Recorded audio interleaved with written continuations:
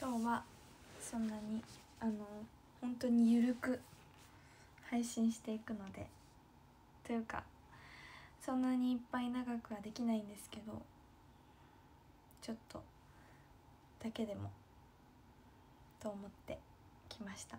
新曲もね発売されてからショールームもできてなかったのでちゃんと昨日はまああのー、イベントのなんかお話をしたんですけど。そう。私髪伸びたんですよ。あんまりわからないかな。あとちょっと今日もあのお風呂に入りました。早いですよね。だからこんな感じです。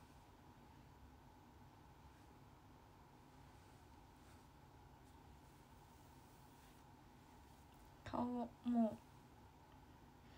う。私はスキンケアすっごいするので顔ベタベタ。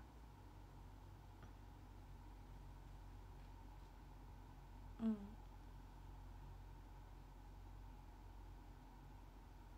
だからね本当は髪下ろしてるの嫌なんですけど髪下ろしてるとね顔につくから。でもちょっと。ちょっとでも。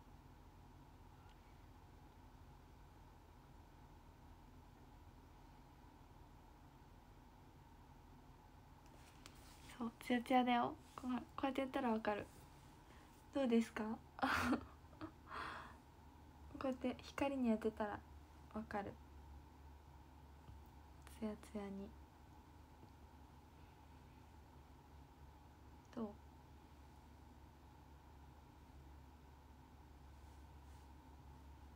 ふふふふそうツヤツヤ。てかテカテカってやめて。テカテカじゃないよ。ツヤツヤって言って。ほら。ツルツル。いい 何やってんのってなっちゃう。酔っ払ってない。いやいっぱいあのねショールームインスタライブ TikTok ライブで迷ったんですけどでもさ TikTok とかインスタライブとか慣れてないから恥ずかしくてなんかショールームって本当にファンの人だけのイメージ。っていうか何て言うんだろう。アットホームなイメージがあるからショールームは。だからなんかショールームにしました。そう。本当はね本当はねインスタライブとか TikTok ライブとかもやっぱりファンじゃない方も見る機会なのかなが多いというかそう。ちょっと暗くなっちゃった。だからそう迷ったんですけどでも恥ずかしかったし。そう。恥ずかしい。ショールームしてんのに顔出してない。急に恥ずかしくなっちゃった。自分で配信してるのに。ああ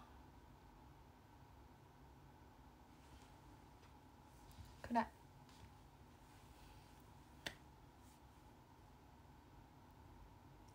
日曜日とかさみんなうんまあいいや。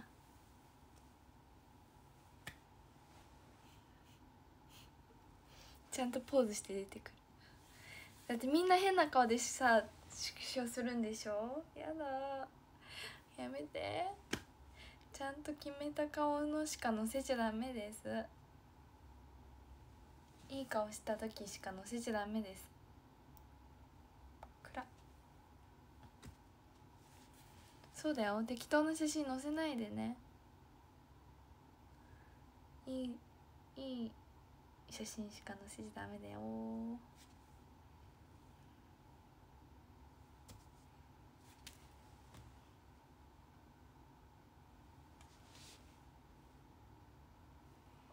変なの？なんだろう？なんか中途半端な目してたり？開いてるのか閉じてるのか分かんないみたいな目してたり？ちゃんとうんダメです今もダメ今もダメだよ。ちょっと。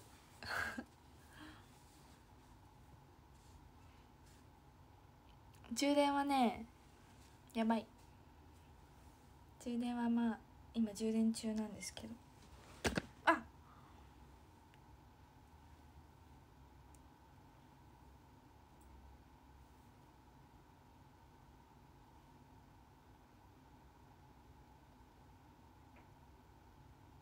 うん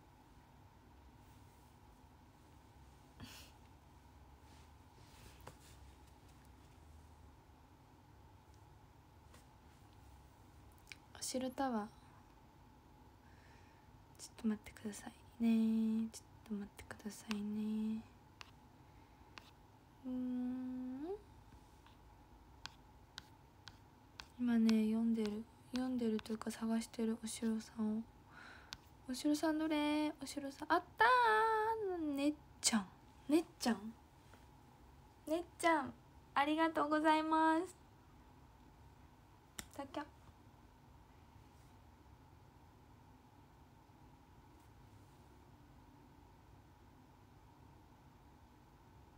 最近どうよ？最近は新曲がねこれから9月27日発売になるんですけどそうやっぱり今回センターを務めさせていただけているということでね盛り上げていきたいなと思います。新曲やっぱりあのそう新曲はねまあなんかタイトルだったりとか見たら結構複雑だったり歌詞とかもなんかなんだろうこれみたいなあのいいのか悪いのかみたいな感じだと思うし私たちも初めて聞いた時は衝撃的でこれをどうあのでも私は普通に何だろうすぐすぐに割と受け入れられたというかまあこうセンターやらせていただくし前向きにこうより自分たちが先生が書いてくれたこの歌詞をどう表現できるのか自分がセンターとして任されたからこそなんか自分がやっぱりどう表現すべきなのかっていうのをすぐに考えたので、まあ、最初パッと見歌詞とかは衝撃だったけどでもやっぱフルで聞くとあなるほどってなりますよね。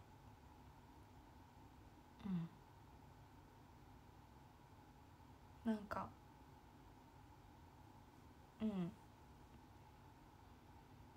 うん。でもあんまり批判じゃないけど悪いこの曲はあんま良くないみたいな声は全然聞かない気がするからうん多分。みんないいと思ってくれてるかな？わかんない。でも私は好きです。なんかイントロの感じとか盛り上がっていく感じ？曲のとかあとなんだろう、まあ、歌詞で言うとアイドルが恋をしてアイドルなんかじゃなかったらの話してます。アイドルがあの、恋をしてまあ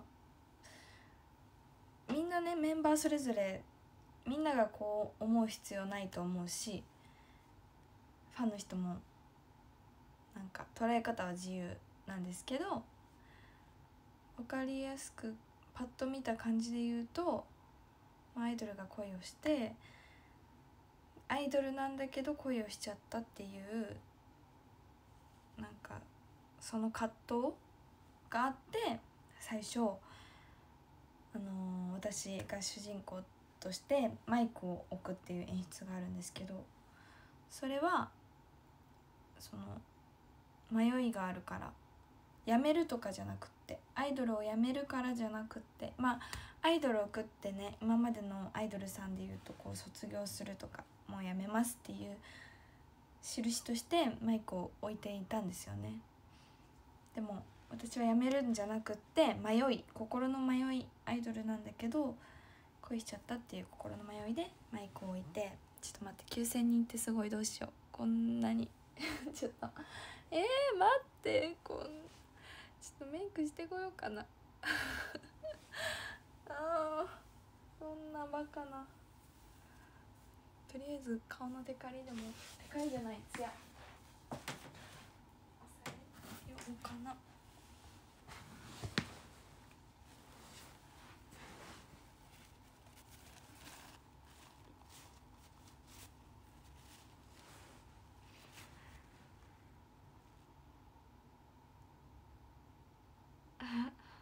これ今乳液を抑えました。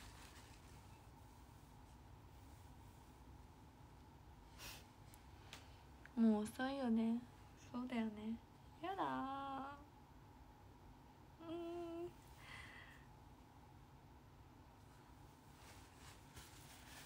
こうやってやっとこうかな。逆におかしいよ。コロナ対策。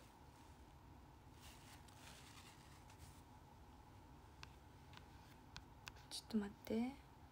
うんちょっと待って。ひろまるさん。ひろまるさん。タワーありがとうございます。タワーじゃないお城ありがとうございます。やった。それでね。で今何の話だっけ？アイドルなんかじゃなかったらだ。新曲の話してるんですけど。そう。でまあアイドルが恋してでそのでも葛藤なんですよ、まあ、アイドルだから。アイドルだ。え？米をみんな何？なんか言ってる？見てます。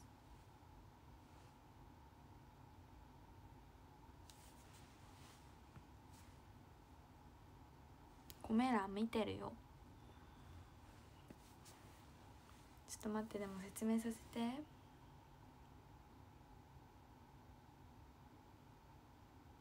んまなんか言ってるいっぱい。なになになに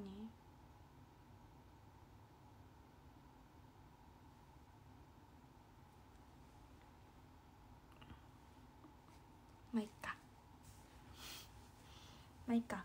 ごめんね。なんか今言ってくれた人。なんか教えてくれてありがとう。あ多分投げたよってこと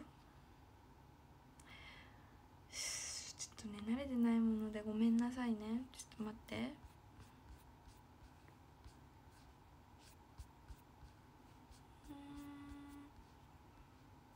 ひるまるさんでしょ？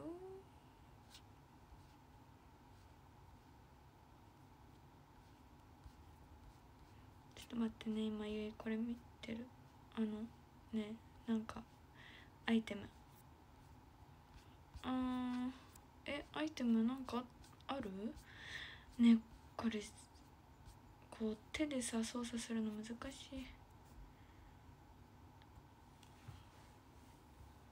なんか教えてください。何かあったら。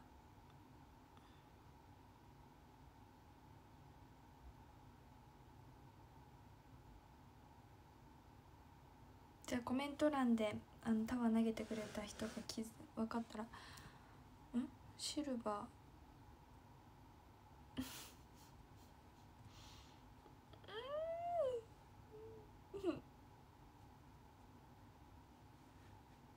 まあいいか。はいごめんなさい、えー続いていきます。アイドルなんかじゃなかったらの話なんですけどそうそれでねなんかあのーアイドルなんかじゃ21歳です。待って。コメントに反応しちゃうんですけど。ダメ。もう本当に。話がね分かんなくなっちゃうから。うんとアイドルなんかじゃなかったらなんですけどこの曲はですねえっとまああいつ待って一から戻っちゃった。ねえずっと見てる人ごめんね。なんかもう全然話が変で。もう飽きていなくなっちゃってるかななんだこれって言っていなくなってるよねきっと。いいよ。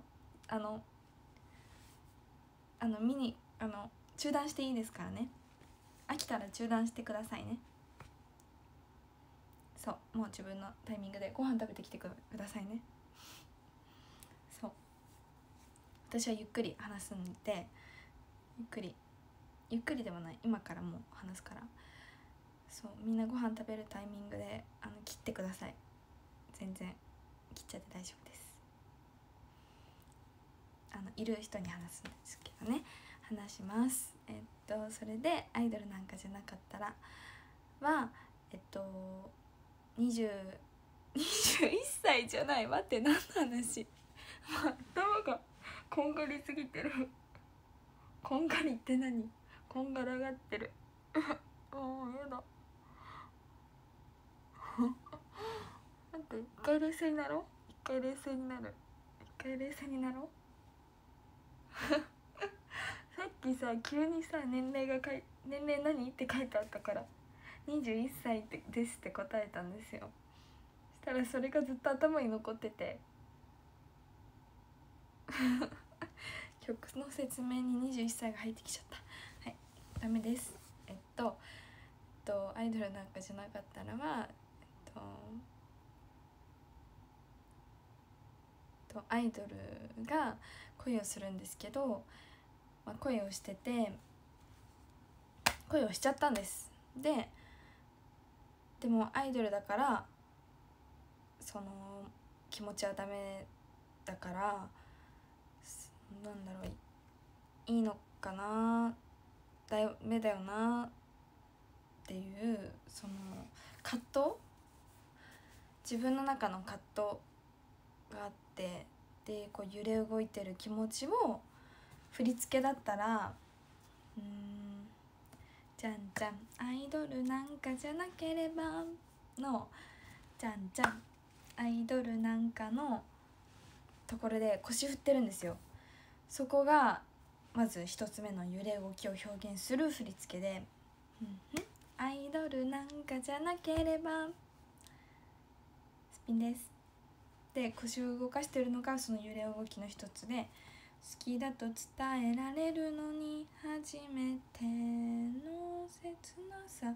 これもふわふわふわってクラゲみたいな感じなんですけどこれもまああのなんだろうふわふわした気持ちっていうその揺れ動くなんだろうまだ定まってないふわふわした気持ちをこれで表現してるの。初めての切なさ。どうやって隠せどうやって隠せばいい？これはちょっと分かんないけど豚さんみたいなんで。これね難しくて私できなかったんですよ。ね？でもずっとお風呂とかもうずっとずっとずっとセンターがこの手できなくてどうすんだっていうことだもですからね。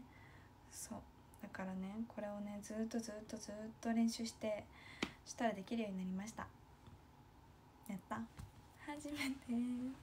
切なさどうやって。隠せばいいもうもうはウィンクをするんですで私ウィンクもね苦手なんですアイドルなのにウインクも苦手でだから練習しましたまあ練習して。もできて。ないんですけどウインクはできないですできないけどやってます。もう全てを捨てたていいとあと少し勇気があればステージ飛び降りてはステージ飛び降りてる感じ？普通の子になれたってなれたって1番と2番のサビであのみんな投げキッスをしてるんですよ。ででも私は投げキスをしないんですね。1番と2番。それはまだそのアイドルなんだけどまあなんかこう恋をしちゃってその迷いがあるから、うん、投げキスができないんです。だから私だけこうやってやってるんです。なんでこうやってやってるんだろうって思ったと方もいると思うんですけど気づかない方もいるかも。うん。キスをうん。ナイキスをしないんですまだ。でも大サビに行くんですねそれで。でこの感想が「あんなにも憧れてた」ってあるじゃないですか。その、まあ、あんなにも憧れてた私たちアイドルはそういう先輩に憧れて加入してあんなにも憧れてた歌って踊る日々よ燃えるような恋を知ってみたいけれど今じゃないってきっと神様は言ってるわ。今じゃないって神様は言ってるっていう。でアイドルになってよかった。卒業する時言いたい。絶対それまでは。っていうね。切り替えるんです。そのだから最終的にはアイドルで生きようっていう。だからマイクをまた持つっていう話になってるんですよ。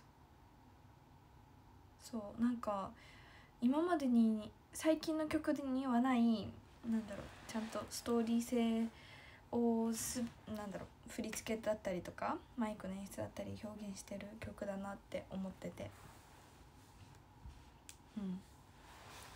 それをなんかうまく表現しないとなんか私まあ私ができることはそれをそうしっかり表現することだなって思ったのでたくさん解釈しました。たくさん解釈というかたくさん分析。この歌詞をたくさん読み取ったり秋元先生が何でこういった歌詞を書いたのかなとかうんなんかいっぱい考えました。どう表現したらいいんだろうとか。表情。うん。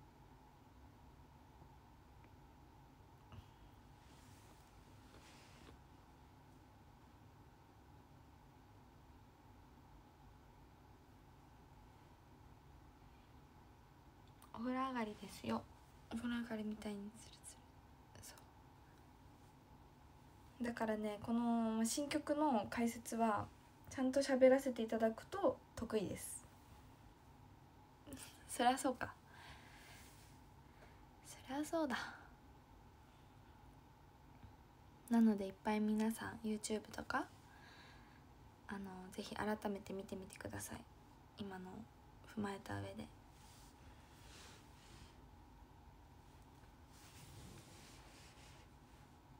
うん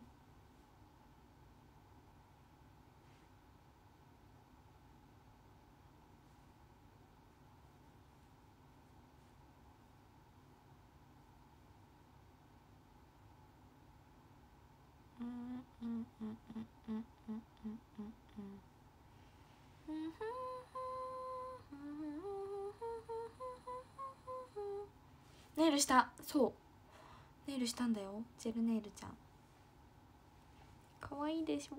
シンプルで可愛いでしょ？見えにくい。どう？フレンチ。指先だけゴールドが入っててあとはピンク。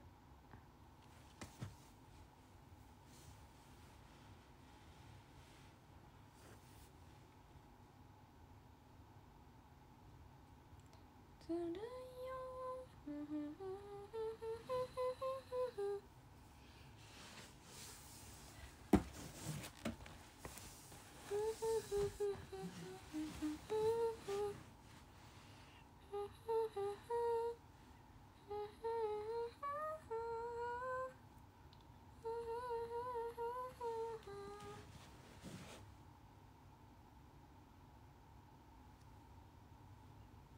ずるいよずるいね。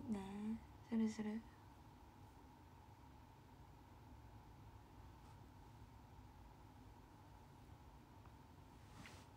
明日あれメンナインのイベントです。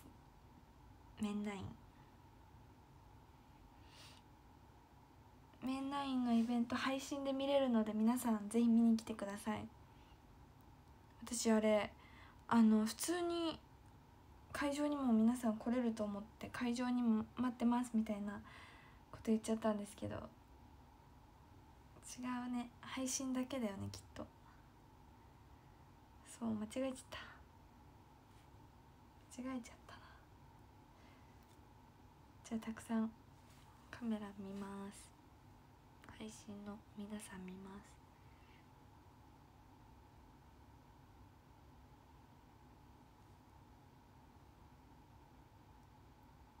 今日の配信さちょっと私これ見に来た人だけですからね。そうだよ。動画撮っちゃダメですよ。みんな動画撮るんだから撮っちゃダメだよ。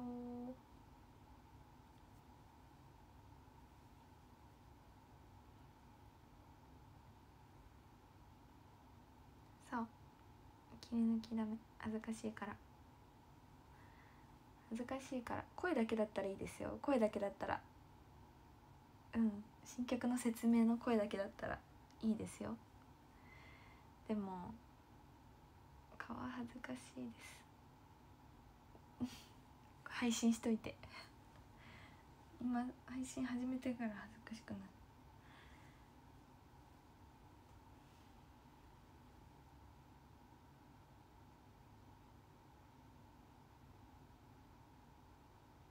ゆい何歳 ?21 歳21歳です。21歳ってどうなんだろう？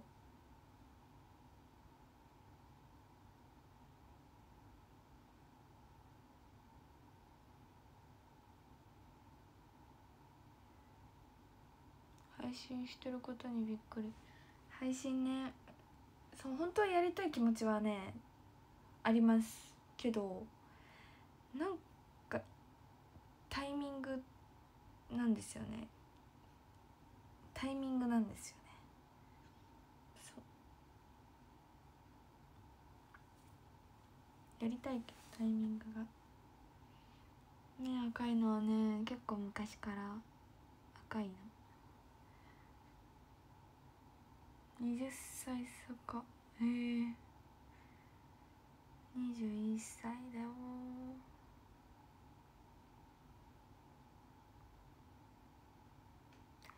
いつの日かなんか気づいていた胸の奥で揺れるときめき。新曲。今日は来てるかな？来てないかな？探してしまうよ。目と目があっても微笑むしかない。他の誰かにバレちゃったらあっという間にスキャンダル大炎上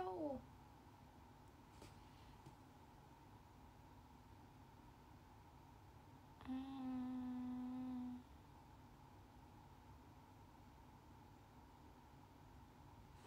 うんうん好きだと伝えられるのに初めての切なさどうやって隠せばいいもう全てを捨てたっていいとあと少し勇気があればステージ飛び降りて普通の子になれたあん。憧れてた。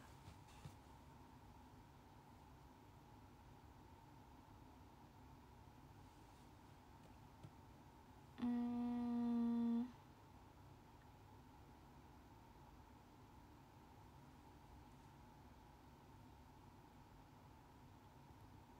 高いステージだったら大変。そうだね。確かに。高いステージは危ないよ。高いステージじゃなくても危ない。飛び降りたらダメです。ちゃんと階段使っておりましょう。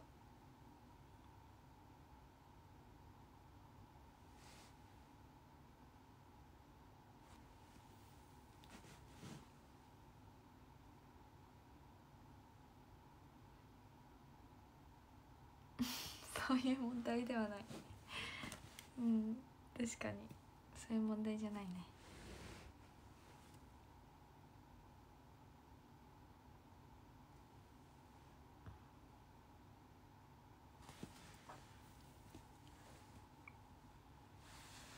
眠くない。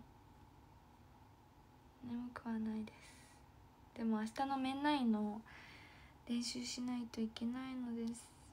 メンナインのイベント配信で見れます。みんな見てください。ここに今配信見に来てる皆さん。ここにまあ一応ここのね1万6000人ぐらい。多分でも今ここには1万6000人も多分いないと思うんですよね。そう。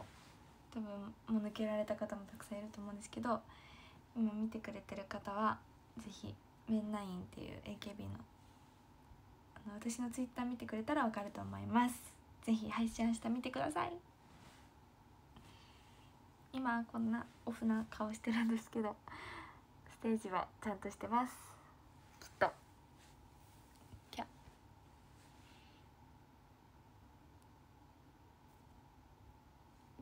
ピース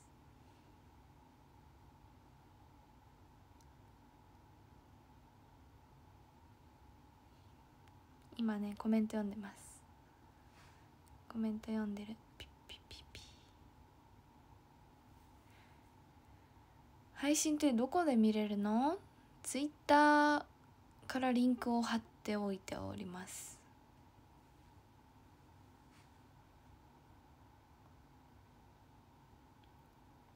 今って靴下履いてますか？履いていません。履いておりません。靴下は履いておりません。私は最近香りがす X ああ間違えた。ツイッターじゃないよ。ダメです。X です。X ごめんなさい。X です。みんな言わないでそんな。まだツイッター呼びなんだねって。恥ずかしい。でもそうですよ。うんまだ慣れないです。正直に。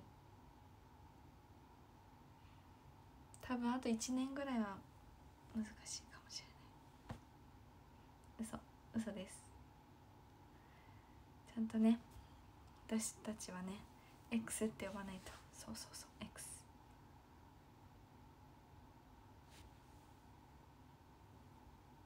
うんそうダメポスト。ポスト。う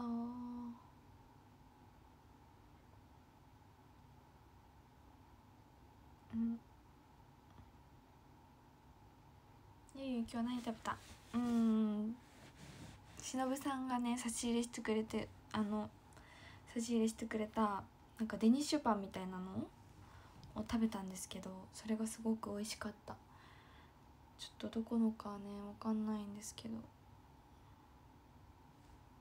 ゆいが演技してるとこ見たいです。嬉しい。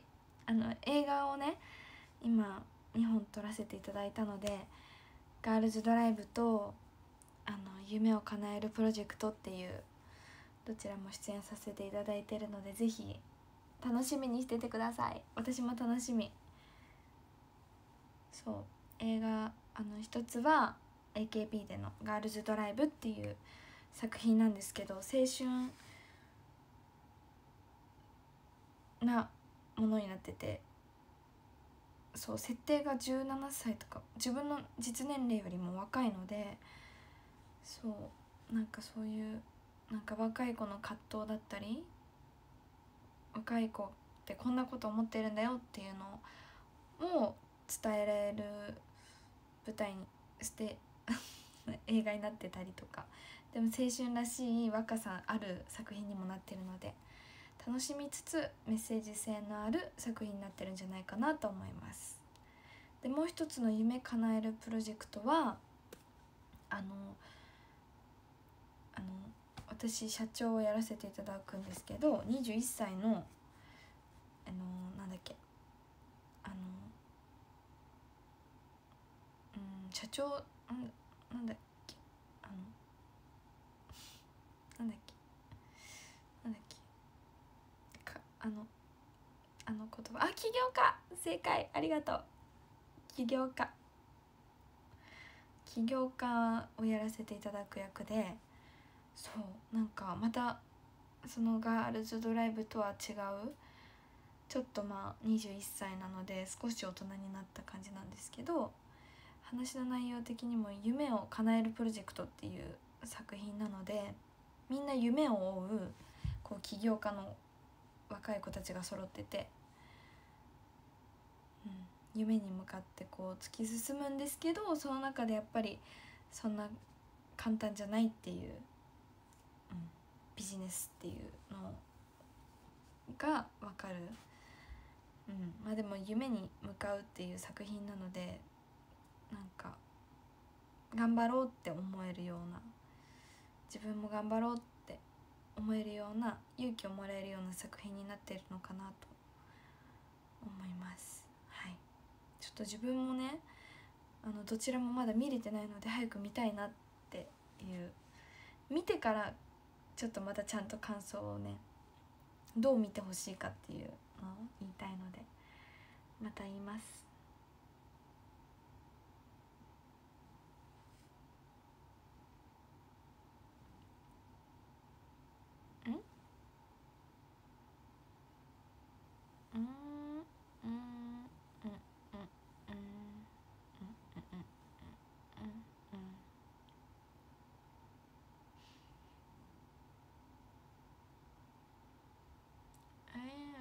そうちょっとねすごいタワーとかさいろいろありがとう。いろいろありがとうだけどちょっと待って読めるかな全部。うん。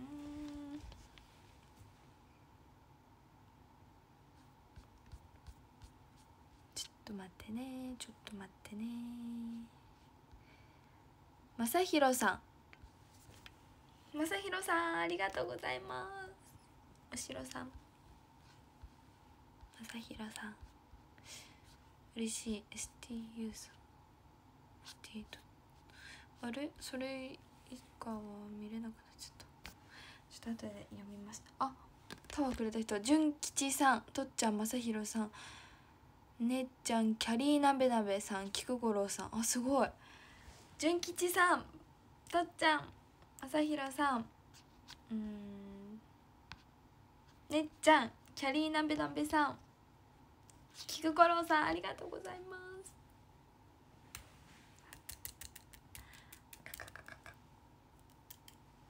そしてくまちゃん教えてくれてありがとう。優しい。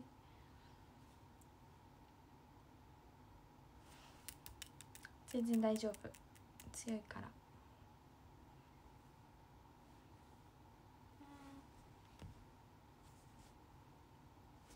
ASMR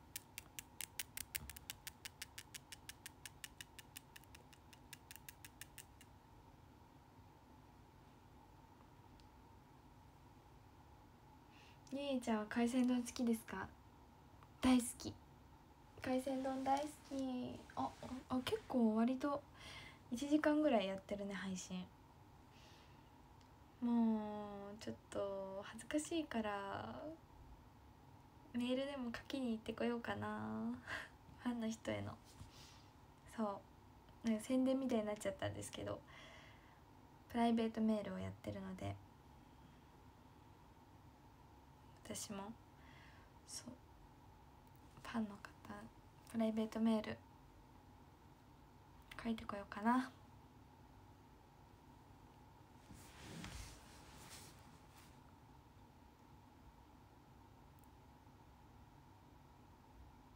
ゆいのメール本当に好き。嘘。本当に？いやでも私なんかお仕事の内容的に全部言えないこととかそういう時は本当に食べ物の話ばっかりんで本当申し訳ない。そう。食べ物率が多い。ね。あとはねファンクラブとかもねファンの皆さんは期待してるのかなやってほしいのかな。ファンクラブって私ほんと詳しくないから分かんないんだけど。どうなのだろうか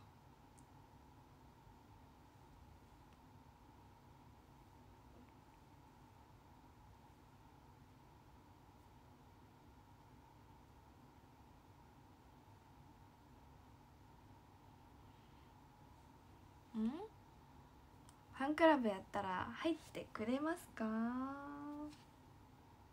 ここにいる今見てる方はじゃあ私がファンクラブ始めたら入ってください。個人イベントやった時に会えるのを楽しみにしてます。そうソロライブとかねやった時に。ソロライブとかやったらねなんかちゃんと私やっぱりソロライブだからこそねできることっていろいろありますもんね。なんか一人一人の顔をしっかりあこの方来たんだっていうのをちゃんと見ていきたいなっていうのはあります。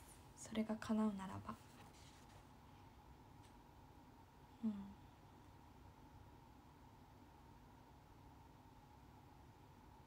なのでもしファンクラブやったらださい。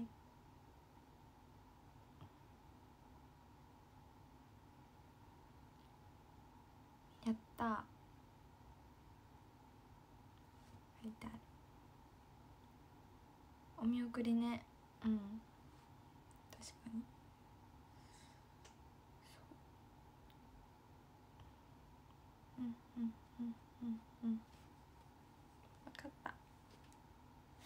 ファンクラブ名。確かに。決めないとねバスツアーすごいね。じゃあちょっと順位読んでいきます。いきます。13位トロピカルピンクさん。ありがとうございます。12位ショートさんありがとうございます。11位シドさんありがとうございます。あえこれ合ってんのかな？合ってるよね。合ってる。10位ユナミナチャケナン。ユナミナチャケナンさん。ありがとうございます。10位キャリーナベナベさん。キャリーナベナベナベさん。キャリーナベナベさんありがとうございます。ありがとうタワーも8位まさとさんありがとうございます。7位シルベスタースターローンさん。本物？シルベスタースタローンさん本物ありがとうございます。6位ひろまるさんありがとうございます。5位とっちゃんありがとうございます。4位ねっちゃんありがとうございます。そして3位まさひろさんありがとうございます。そして2位菊五郎さんありがとうございます。そして1位はマットさんありがとうございます。そして配信を見てくれたみんなもありがとうございます。みんなありがとう。こんなこんな感じなのに見に来てくれて。恥ずかしいからね出たり入ったりしてましたけど。ありがとう。みんな見に来てくれてありがとう。新曲9月27日発売です。ぜひ楽しみにしててください。いっぱい聴いてください。じゃあ明日の配信もメンナインの配信もお待ちしてます。そう。じゃあいいですかね。ありがとう。バイバイ。おやすみ。良い一明日も明日からお仕事頑張りましょう。今日もだったかもしれないけど。じゃあおやすみなさい。バイバーイ。Yeah.